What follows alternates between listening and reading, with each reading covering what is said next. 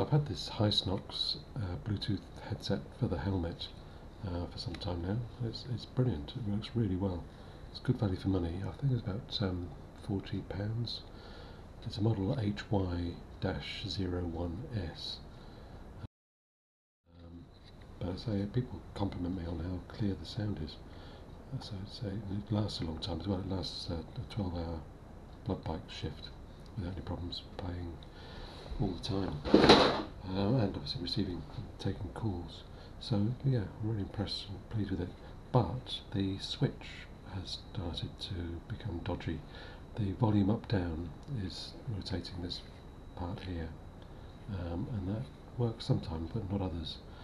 And it has been wet recently. I'm suspecting there's perhaps some um, water's got in, but uh, so I'm just going to see if I can clean the contacts and get it working again properly. Evidently there are five screws around the side and uh, there's this panel here which I don't quite understand. I think that's something to do with this uh, USB-C socket but I'll leave those in for now and take out the others.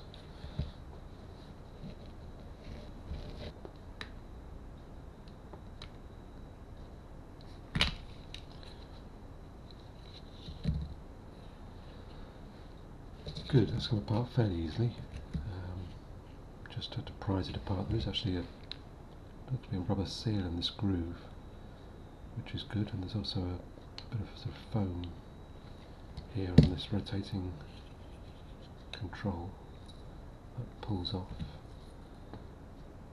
And it's got a slotted, was it what I was expecting, a um, just a, a sort of multimeter type uh, switch on the printed circuit board with, with tracks on the board and uh, some sort of leaf mechanism on the uh, control. But that's what I had on my last headset, which was even cheaper than this one. Um, but this has actually got a proper proper switch, which is good and bad. I mean, it's obviously all sealed inside, so I'm not sure I'm going to be able to clean the contacts. There's a little O-ring on there, which I guess can stop water getting in from this side perhaps. There's a press button in the centre and this rotating part, so yeah, there is a that does press in to um, play and pause and various other things, receive a call, but it also rotates about I don't know 45 degrees. Yeah, 45 degrees each way for the volume up, volume down, and um, holding it moves a track forward, track back, and that sort of thing. So, yeah, maybe I'm not going to be able to get anything into there. I'm going to try some WD-40, on these pens, which they work quite well. I'm not sure you can buy these anymore. I haven't seen any for a long time, but they work quite well. Situations like this you don't want to flood the thing with too much liquid.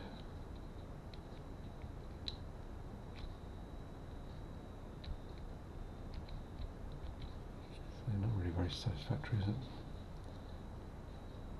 Apart from replacing the switch, there's much else I can do. It'll work in. I think I'll leave that for a bit and apply a bit more later and, uh, and put it back together and see if it's any improvement.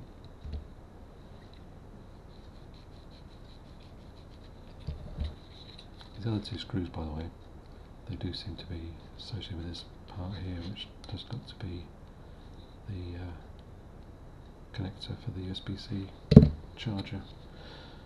Sorry, not the USB charger, for the uh, the headset. It looks to be USB-C, but it's um, it is where the headset connects the speakers and the microphone. The charging port is actually here. That is USB-C. This looks as if it could be something slightly different. don't know. Maybe they've used a USB-C connector there as well in a non-standard way. So I've put some more WD-40 on after leaving it to sit for an hour or so. So, I don't know.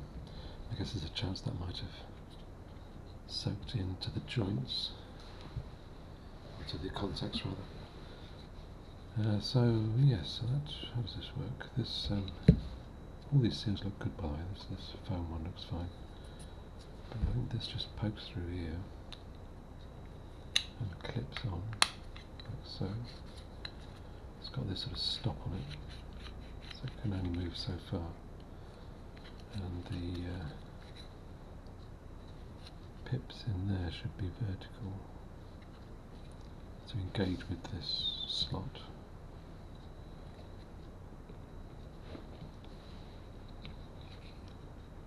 And get it back on properly.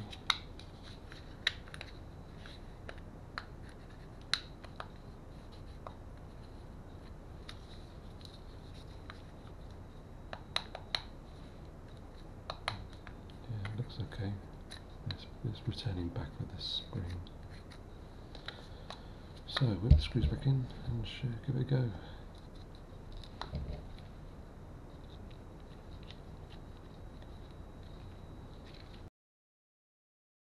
See if it works.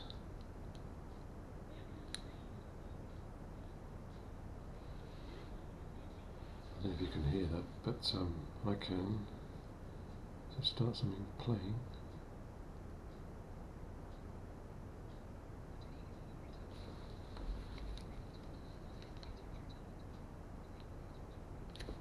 Seems to be working.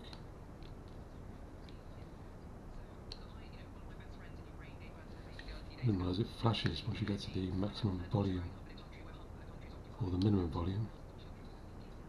It flashes. That's, that's definitely working better than it was.